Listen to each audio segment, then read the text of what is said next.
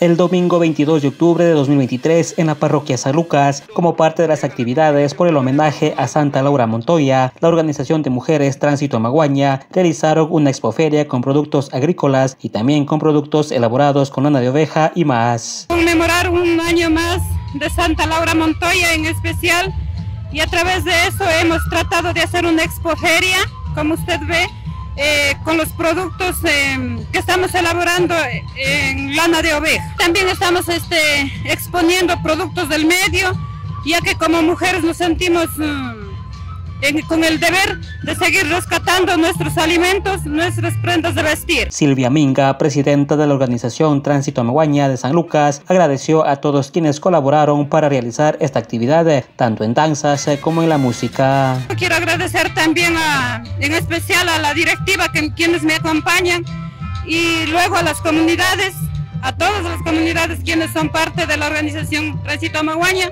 Quiero agradecer a las dos bandas que se hicieron presentes. También hemos hecho eh, la invitación a todas las comunidades que participen con, el grupo de danza para eh, ir dando realce nuestra cultura y también eh, tomar mucho en cuenta la juventud, ya que la danza es muy importante para para nuestra parroquia. Añadió que estas actividades fortalecen las organizaciones de mujeres en el sector, eh, ya que les permiten mostrar su cultura y tradición. Eh. Tránsito a Maguaña, igual que Dolores Cacuango, como mujeres queremos eh, y sabemos las necesidades que tenemos las mujeres, ya que sufrimos mucha discriminación.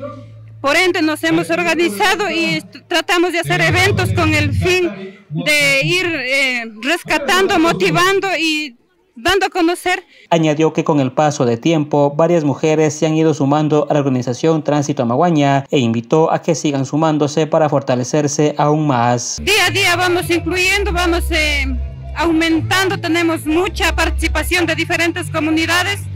Eh, hay compañeras que, que, están muy motivadas y sí, se van ingresando a la organización.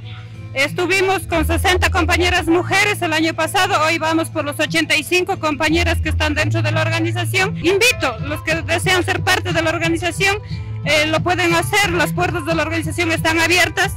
Eh, para cualquiera que desea ser parte de la organización. Finalmente se refirió a las actividades que vienen realizando para motivar al cultivo de productos orgánicos en el sector. Una de ellas son las capacitaciones. Estamos trabajando ya en las comunidades, estamos en tema de las capacitaciones.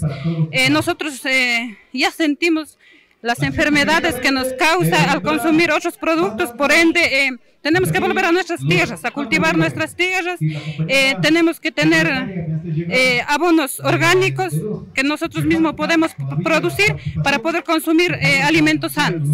Estamos ya con, con la crianza de ovejas, por ende también estamos con la crianza de cuyes para obtener el abono y poder cultivar productos orgánicos de nuestra zona y seguir cultivando los productos con lo que se está perdiendo. Para la Minga TV informó Erwin Morocho.